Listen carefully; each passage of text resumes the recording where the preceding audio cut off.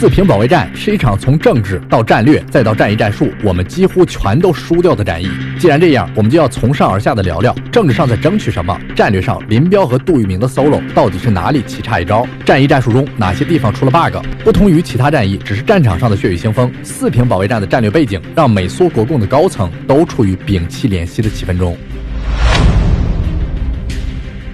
首先要明确，一九四五年中国的事儿是蒋介石的国民政府说了算，他们是当时的法定政府。国际上的事儿，美苏英说了算。这哥仨商量好的事儿，其他任何国家没有资格反驳。他们不但充当国际警察，还是最为权威的地球法官。美国为了请苏联出山打日本，把外蒙古独立，中国把库页岛给苏联，把大连港租借给苏联使用等条款写在了一纸协定上，史称雅尔塔协定。其实这份协议在签署前，蒋介石是有小道消息的，但他没做任何反抗。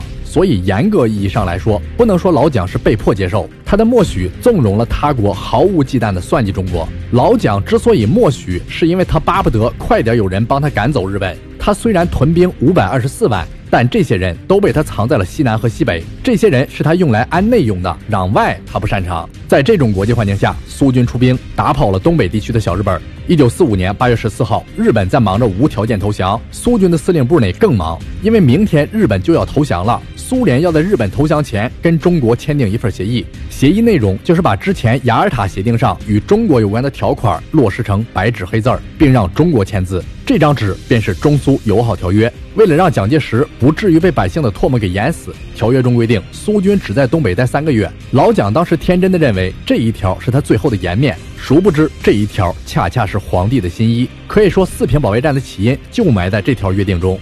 次日，八月十五号，日本宣布无条件投降。随着日本的退出，国民党碰到了一个棘手的问题：我军十万大军闯关东，很快便在东北全域建立了根据地，而他们的兵一时半会儿过不来。这里埋个小故事，一会儿讲杜聿明悲催的海上一日游。三个月的时限很快就到了，十一月十四号，苏军约定撤离东北的日子，可国军还在想尽一切办法突破山海关。苏联顾及他在美国那儿的外交面子，已经等得不耐烦了。照国军这速度，牛年马月才能到哈尔滨呀。于是要求我军别在铁路周围活动了，赶紧让国军过来接收城市，他们着急回国。同时要求我军全部退出沈阳、长春、哈尔滨等大城市，不要在他们办理交接手续的时候节外生枝。十一月二十号，刘少奇复电：既然如此，我们服从。大城市就让国军去接收吧。大势所趋，我军调整了东北的战略部署，叫做让开大路，占领两乡，也就是东北版的农村包围城市。国民党那边的处境好像有蚂蚁在身上爬。老蒋非常清楚东北的情况，他上午接收，下午苏军撤离，晚上没准就得被我军给团灭喽。所以他跟苏联商量，哥们儿，你也知道东北的情况，能不能晚走几天，再给我点时间？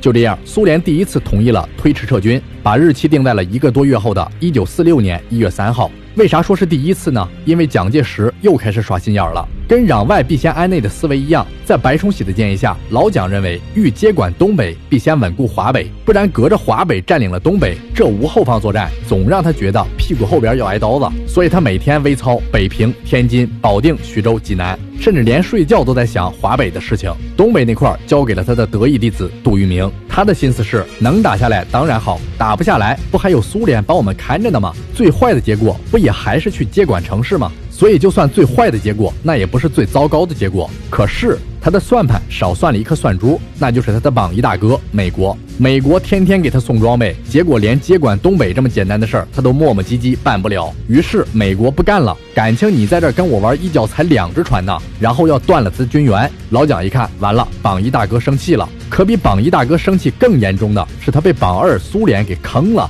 这里就要引出刚才埋下的那个小故事。这期接着讲四平保卫战。有人说这是中国最会打仗的人打的最难看的一仗，也有人不理解。为什么明知是逆势，还非要跟敌人硬刚？今天就讲讲老蒋的骚操作，以及为啥四平保卫战非打不可。话说，一九四五年派谁去苏军手中接管东北地区，对于老蒋来说比奥数还难。他最开始想派何柱国去，可何柱国是东北军的重要将将领，他担心放虎归山，何柱国成为第二个张学良。想想还是算了，不能让他去。又想派何应钦去，可何应钦生病不去。还想过关麟征，但已经在东北的熊式辉跟他不和，他来我就走那种。最后蒋介石只能把杜聿明派了过去。出发前，杜聿明非常担心东北的条件，听说那里有十多万共产党的军队，苏联一向跟共产党关系不错，我过去不会成了饺子馅儿吧？为此，他专程从重庆飞到了南京拜访何应钦。何应钦说：“东北的事情啊，具体我不知道，但听说非常头疼。哎，你没听说老蒋让我去东北，我生病了吗？”他这下更加忐忑了，立即飞往了上海，拜访美第七舰队司令金开德。金开德表示：“我们有运输船，有登陆舰，我可以帮你运兵。”杜聿明这才稍微放下点心，他又立即飞往了长春，去拜访苏联统帅马林诺夫斯基，问问能不能在营口登陆。苏联表示：“可以啊，你运呗。”杜聿明一刻都没有停留，立即飞回了重庆，跟蒋介石汇报喜讯：“我已经打通好了各个环节，给我兵吧。”蒋介石说：“十三军在秦皇岛，五十二军正在从越南往回撤，你现在就去按你的计划开始行动。”然后他又立即飞往了秦皇岛。不是哥们儿，咱打个电话不行吗？公费出差算是被玩明白了。他兴高采烈地来到了秦皇岛，把十三军领到了美国的舰船上，驶向了营口。可当他们到这儿了以后，发现苏军给撤了，岸边全是共产党的军队。哎呦，这可给他气够呛。然后他问苏军几个意思呀？能不能让这些共军撤走啊？苏联的答复是：不好意思啊，我们已经撤军了。还有啊，共产党的军队是你们内政问题，我管不了。哎呦，气够呛！杜聿明并不知道岸上的八路军只有六千来人，武器也相当的简陋。如果他们抢滩登陆，是扛不住舰炮两三下的。杜聿明没有下令的另一个原因是，此时的十三军虽然跟他同坐一艘船，但他没有指挥权，没有何应钦的命令，你自己抢滩去吧。然后他给老蒋打电话。给我十个军，我要在营口或者葫芦岛抢滩登陆。老蒋说一个军都没有，我最多把十三和五十二军的指挥权拨给你，你带着他们回山海关打穿陆路去吧。这便有了刚才咱们说的，为什么苏联都要撤军了，国民党还在大战山海关。回到今天话题，国民政府被榜二苏联给坑了，榜一大哥也因为他迟迟不能接管东北，要断他的军援，蒋介石只能又开始两头求情，这边派人去跟苏联商量，能不能再晚走些时日。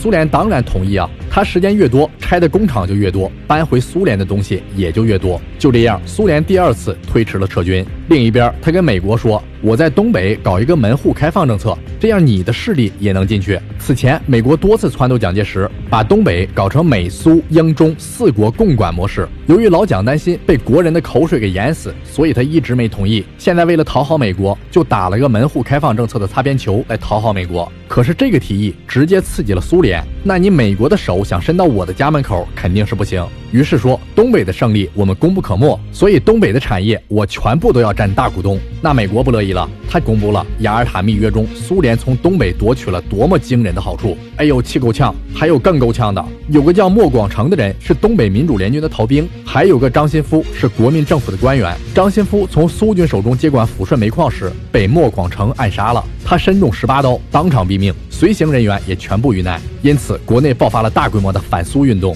这两起事件直接导致苏联强退东亚服，不比强退还快，简直就是闪退。他根本没有通知国民政府，不等到约定的日期，直接就撤了，但却把撤军的决定告诉给了我军。同时表态，只要我们走了，你们爱去哪儿就去哪儿，那是你们自己的内政。当时老蒋的部队仅仅占领了沈阳、张武、锦州一带，而东北民主联军数月来囤的几十万大军，几乎是撵着苏军的后脚跟儿占领了其余所有地方。哎呦，气够呛！老蒋无视一切停战协定与和平约定，向东北大规模增兵，并要求杜聿明尽快拿出点成绩来。国军第一个个战略目标长春，沈阳到长春的路上有一个重要的交通枢纽，它的名字叫四平。而我军当然不会放弃战略位置，一味的退让只会让国军蚕食我们，最终吞掉我们。一味的退让换不来和平，和平是争取来的，和平是枪杆子打出来的。在以打促谈的背景下，我军下令不惜重大伤亡，求得大胜，以利谈判与将来，甚至连伤亡的数字都准备好了，两万人。四平保卫战即将打响。